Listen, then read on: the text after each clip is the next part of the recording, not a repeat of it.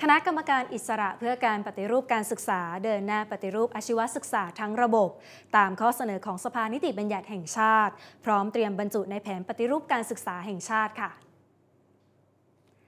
ศาสตราจารย์กิติคุณนายแพทย์จรัสสุวรรณเวลา ประธานคณะกรรมการอิสระเพื่อการปฏิรูปการศึกษา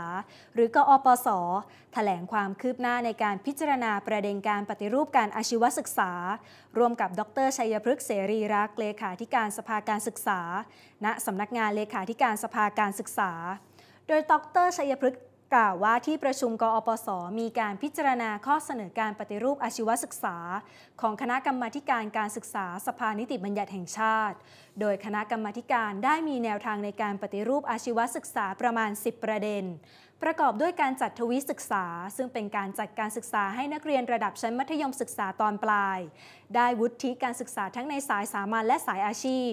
โดยขณะนี้ได้มีการริเริ่มขึ้นในหลายพื้นที่ แต่จำเป็นต้องมีการปรับปรุงกระบวนการต่างๆสำหรับการบริหารจัดการสถาบันการอาชีวศึกษา จะต้องปรับกลไกในด้านการบริหารจัดการให้เกิดความคล่องตัว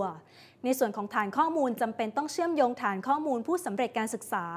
กับอัตราการมีงานทำเช่นเดียวกับทวิภาคีที่ต้องปรับให้สามารถตอบโจทย์ทวิภาคีที่แท้จริง ขณะที่ประเด็นครูอาชีวะเป็นประเด็นที่ต้องปฏิรูปทั้งในด้านมาตรฐาน การผลิตและพัฒนา นอกจากนี้ต้องส่งเสริมเกษตรอาชีวศึกษา เนื่องจากในปัจจุบันมีนักเรียนให้ความสนใจแขนงวิชานี้น้อยลง สวนกับกระแสความต้องการของประเทศ ตลอดจนกำหนดมาตรฐานอาชีวศึกษาของไทย โดยศึกษาจากประเทศญี่ปุ่น สิงคโปร์ เกาหลีใต้ และสหราชอาณาจักรค่ะทวิศึกษาก็คือการที่ให้เด็กนักเรียนเเรียนในระดับมปลาย แล้วก็ได้สองวุฒิทั้งวุฒิสายสามัญแล้วก็วุฒิสายอาชีพก็คือ ปวช ซึ่งได้ริเริ่มในบางพื้นที่ แล้วก็ประสบความสำเร็จพอสมควร แต่ต้องมีการปรับอะไรบางอย่าง เรื่องที่สองก็คือเรื่องของการบริหารจัดการของสถาบันการอาชีวศึกษา ซึ่งได้เริ่มมาระยะหนึ่ง แต่ก็ยังไม่ได้เป็นไปตามเจตนารมณ์อย่างเต็มที่ ก็ต้องมีปรับกลไกในเรื่องของการบริหารจัดการ เรื่องที่สามที่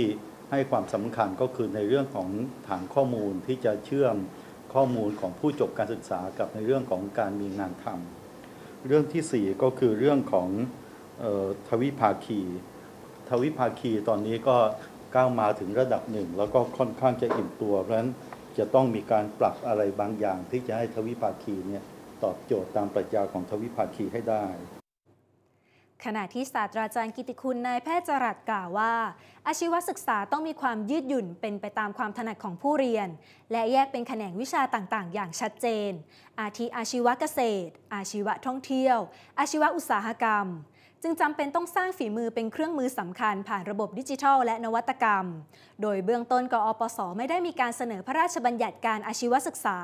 แต่ระบุไว้ในพระราชบัญญัติการศึกษาแห่งชาติ และแผนการปฏิรูปการศึกษาแห่งชาติ โดยให้คณะกรรมการนโยบายการศึกษาแห่งชาติ เป็นผู้สานต่อข้อเสนอของกอปศในพระราชบัญญัติการศึกษาแห่งชาติที่เรานำเสนอเนี่ยจะเอ่ยเรื่องอาชีวศึกษา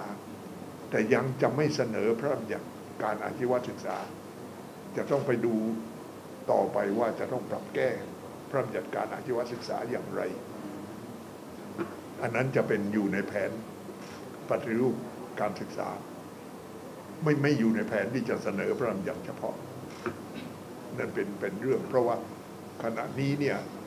ข้อมูลที่ที่เกี่ยวกับเรื่องการงานในอนาคตเนี่ยยังเป็นข้อมูลที่ยังยังไม่ชัด